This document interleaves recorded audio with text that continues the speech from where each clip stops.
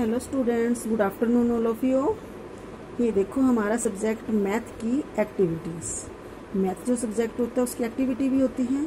जैसे हमने English letter की एक्टिविटी की थी कैप प्रिंटिंग आज हमारी मैथ की एक्टिविटी क्या है? फिंगर प्रिंटिंग ये क्या है हमारी फिंगर पहले भी हम फिंगर प्रिंटिंग कर चुके हैं। अब हम मैथ में करेंगे फिंगर प्रिंटिंग ये देखिए फिंगर को हम कलर के अंदर अपने फिंगर को डिप करेंगे. क्या करेंगे? डिप करेंगे।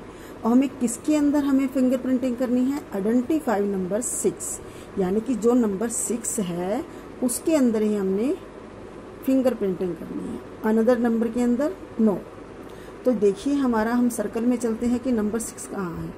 लेटर स्टार्ट ये है थ्री थ्री में नहीं करेंगे, ये नंबर सिक्स तो हम यहाँ क्या करेंगे?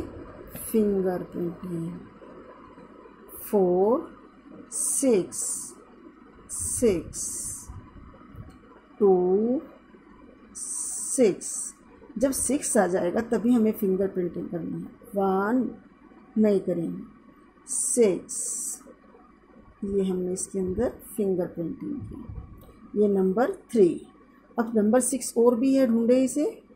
कहाँ है? सेंटर में. सिक्स ऐसे ही आप भी अपनी बुक के अंदर आपको ब्लू कलर की हमने रिकोनाइजेशन करवाई है तो हम ब्लू कलर से ही हम कर रहे हैं इसे, ताकि अच्छी तरह से आपकी ब्लू कलर की रिकोनाइजेशन हो सके।